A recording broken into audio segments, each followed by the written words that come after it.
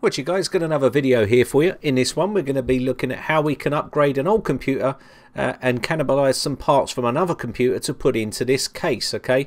Now is that possible? Yes it is if it's been a custom built PC as you can see this had an AMD processor in it an old AMD 64 which has got a floppy drive and all that stuff in it but pretty much if we can rip all the guts out of this we can probably cannibalize some parts in here and still use some other parts from another PC now we've got an i5 and also a Gainward 560 Ti lying around and some 16 gigs of memory. So we're going to be upgrading this and putting all that stuff in there okay?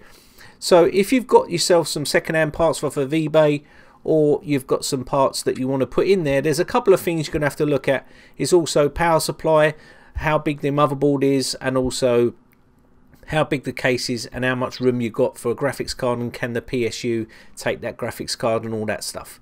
So as you can see this is the case inside. It's pretty messy in here and uh, we're going to be having to blow this out and clean all this crap out. So we're going to take it outside. So once we've done that we'll be able to put our stuff in. But you see it's got an Antec uh, 500 watt power supply. It's got a ribbon cable for a floppy drive. That'll be going. And uh, as you can see here there's not much room in here as well. It's got a an old AMD system in here, but all that is going to be coming out. We can probably still use the fan and uh, the power supply. I'm pretty sure that'll be okay. But you've got to remember the width here uh, for size of graphics cards and can the PSU take that uh, type of graphics card so you'll have to weigh all this up when you're going to be upgrading your system airflow is another thing you want to make sure you've got plenty of airflow if you're upgrading to newer parts okay so we're going to be putting a front fan in here and a, an exhaust fan as well and uh, pretty much uh, just rip the guts out. Okay, so let's uh, take this outside and give it a quick blowout with a shop vac. As you can see, it's full of dust inside and uh, heat can't dissipate uh, through dust, so that's what actually kills hardware. Once you get dust inside a case, it starts to build up heat and then you start with overheating problems and stuff like that, okay? So this is just a general shop vac. I've got it on blow and uh, we're going to blow all the dust out. I will hold the fans before I start uh, going near that area. You can see I'm moving it about pretty fast here so I don't end up spinning the fans too hard. Uh, but I will hold them and then give it a quick blow right through the CPU and the uh, graphics card here just to make sure the dust is gone. Now you may be wondering why I'm still cleaning this out seeing that we're going to be removing uh, all this stuff. One, I don't want to be breathing in all this nasty dust and two, I just want to get rid of uh, all the crap from the inside of here before we put our new parts in. And this is going to be used in another build for for his friend. Uh, so let's get this uh, out of the case. As you can see here I removed all the cables and all the cards.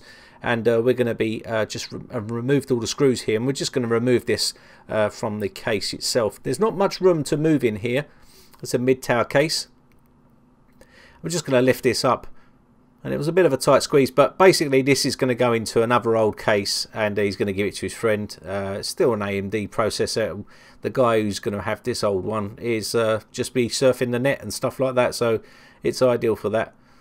So we'll just remove this out as you can see. Now once we got this out we can uh, put in our other motherboard that we've got. Now I've cannibalized this out of another machine. As you can see it's an i5 uh, with a Noctua uh, D14 uh, fan on it. It's a pretty beefy fan and 16 gigs of uh, Skill Ripjaw um, RAM here and also a Pro motherboard. It's pretty decent Asus. It still does the job and uh, hopefully we can get this into the case. Now there's another thing you want to take care of. Make sure you got all your IO shield from your last uh, case before you throw it out. Otherwise you won't be able to put this motherboard in. So we're just going to put this in. And once we get that into our case, we can then offer up the motherboard. Now again to take into account is make sure that you've got plenty of headroom for your heatsink because this is pretty beefy. Now I've had to remove the power supply here up uh, onto the side here so we can get the board in. Now it's always good to remove all these cables to be honest and start afresh but I was trying to uh, do this with a hangover on a Saturday morning which wasn't good and uh, I was just trying to get it done to be honest. But we'll just offer this up and uh, get this into the case. As you can see, it's a pretty tight squeeze, but if I'd have removed all these cables, it wouldn't have been as bad. But, you know, cutting corners, it's only a, um, a, a, quick upgrade here. So uh, we'll pull this back and get it offered up Now once we've done that we've got to make sure that all the uh, motherboard risers are in the right place for this type of motherboard and then we can screw it down and uh, as you can see here there's not much room inside here okay so once we've got this all lined up we can screw this down and uh, we should be okay. Now we've got to tidy those cables up of course and this isn't a modular power supply which makes it a bit more difficult. Uh, but remember guys these are second-hand parts and they're just parts that uh, he wanted to put in there. It's only for a temporary one year solution until he gets money and he can upgrade to a new computer. You can see this bar along here. This has got no uh, screws on it was just riveting in which made it more difficult uh, to maneuver inside there but we got around it and that should be okay. There is a bit of clearance there as you can see um, once the side panel goes on so the airflow should be alright uh, we're going to put a front fan in and uh, an exhaust fan at the back and uh, that should be pretty much it really. So as you can see here uh, there was a big jumble of cables and we need to sort these out and down near that power supply they were just pushed down there which can starve the um, airflow to the power supply here. And uh, what we're going to do this is not a modern case remember it's an old case. So you can see that power lead that goes down to the board there. I have to make sure that we got that in and that was very tight to get in so I removed the power supply so I could get my hand down there.